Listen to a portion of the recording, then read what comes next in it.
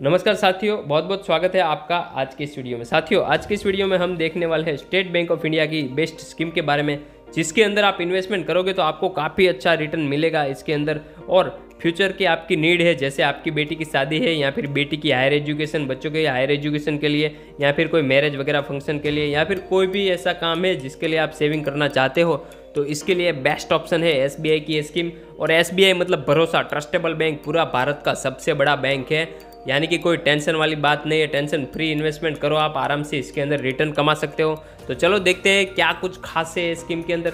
दोस्तों, आगे बढ़ने से पहले अगर आप चैनल पर नए हैं तो चैनल को सब्सक्राइब कर लो और वीडियो तो लाइक ही कर दो मेरे यारो।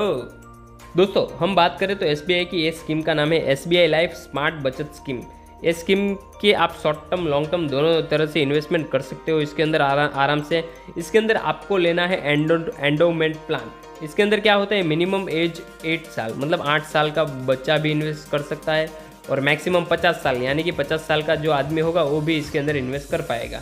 इसके ऊपर वाला इन्वेस्टमेंट नहीं कर सकता है। अभी दोस्तों बात कर ले ये स्कीम का टेनर ये स्कीम अगर आप करना चाहते हो तो इसका टेनर रहेगा पाँच साल सात साल दस साल पंद्रह साल।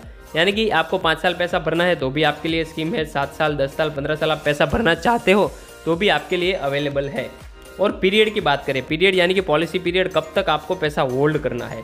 दस साल से लेकर पच्चीस साल तक, आप जितना चाहे दस साल। मानो कि आपने ऐसी पॉलिसी ली कि भाई दस साल बाद मुझे पैसा चाहिए तो भी आपको मिल जाएगा। बीस साल बाद चाहिए तो भी मिल जाएगा और पच्चीस साल बाद चाहिए तो भी आपको यहाँ पे पैसा मिलने वाला है।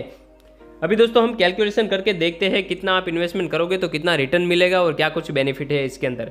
अभी मानो कि आपकी एज तीस साल है। तीस साल की एज में आप इन्वेस्टमेंट करते हो हर महीने ग्यारह हज़ार छः सौ रुपया। और अगर हाफ़ ईयरली आप इन्वेस्टमेंट करना चाहते हो तो आप सिक्सटी नाइन थाउज़ेंड भी इन्वेस्टमेंट कर सकते हो। और साल का पूरा पैसा एक साथ देना चाहते हो तो आप एक लाख छत्तीस हज़ार रुपया भी डाल सकते हो। ये तो हो गई इन्वेस्टमेंट की बात। अभी इसके अंदर आपको रखना है पैसा बीस साल तक। तो आपको दस लाख का सम एश्योर्ड मिलेगा। यानी कि कुछ भी होता है तो सीधा दस लाख रुपया आपको तो पहले तो मिल ही जाने वाला है। और पॉलिसी का पीरियड है वो बीस साल है। और पेमेंट आपको करनी है पाँच साल। ये जो आप भर रहे हो ग्यारह हज़ार छः सौ हर मंथली या क्वार्टरली जो भी आपको भरना है, वो पाँच साल तक आपको भरना है। यानी कि आपका टोटल पैसा हो जाएगा छः लाख बयासी हज़ार आठ सौ पचास। इतना पैसा आप भर दोगे, साढ़े छः लाख रुपये आपने भर दिया। तो बीस साल बाद आपको क्या मिलेगा? आपको दस लाख जो सम एश्योर्ड है, वो तो रुपया आपको मिलेगा ही। प्लस साढ़े नौ लाख का बोनस मिलेगा। टोटल हो जाएगा उन्नीस लाख रुपया। अगर आप पाँच पाँच साल पे करते हो तो 20 साल बाद आपको 19 लाख ऑलमोस्ट तीन से चार गुना आपको पैसा यहाँ पे मिलने वाला है और वो भी सिक्योर कोई भी टेंशन वाली बात नहीं है। तो आज ही आप SBI विज़िट कीजिए और स्कीम का लाभ लीजिए क्योंकि SBI तो बहुत ही अच्छी बैंक है और भारत का सबसे बड़ा बैंक है। रिक्स वाली बात है नहीं, दूसरी कंपनियों में पैसा देते हैं। लेकिन साले कब लेके भाग जाते हैं पता नहीं चलता, इसलिए एस बी आई सरकारी बैंक है प्राइवेट है एच बड़ी बड़ी बैंक है, उसमें आप इन्वेस्ट कीजिए। तो दोस्तों, मिलते हैं फिर से वीडियो में, तब तक के लिए जय हिंद, जय भारत।